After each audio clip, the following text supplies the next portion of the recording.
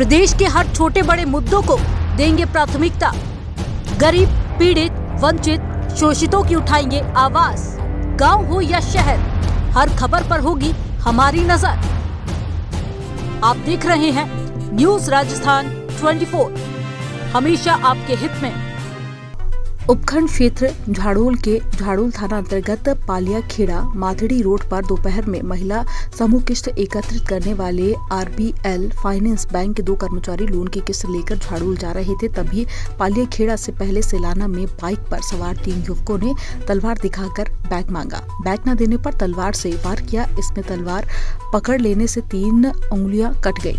नहीं छोड़ने पर सर पर पत्थर मारकर बैग ले भागे। सूचना के अनुसार जयपुर निवासी मनोज आगरा निवासी सचिन शर्मा बागपुरा क्षेत्र के किस्त की वसूली करने गए थे, जिन्होंने बागपुरा माकड़ादेव सलदरी, मानस के छह सेंटरों से महिला समूह के तीन लाख छत्तीस हज़ार आठ सौ बयासी रूपए लेकर जा रहे थे।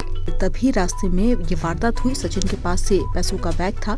मनोज ने बीच बचाव किया, पर तलवार से वार कर घटना को अंजाम दिया गया। सूचना मिलते ही झाड़ू उप अधीक्षक जितेंद्र सिंह व सीआई भरत सिंह राजपुरोहित मौके पर पहुँचे। मामले को गंभीरता से लेते हुए पुलिस ने तफ्तीश शुरू की। झाड़ोल से ओम प्रकाश चौधरी की रिपोर्ट।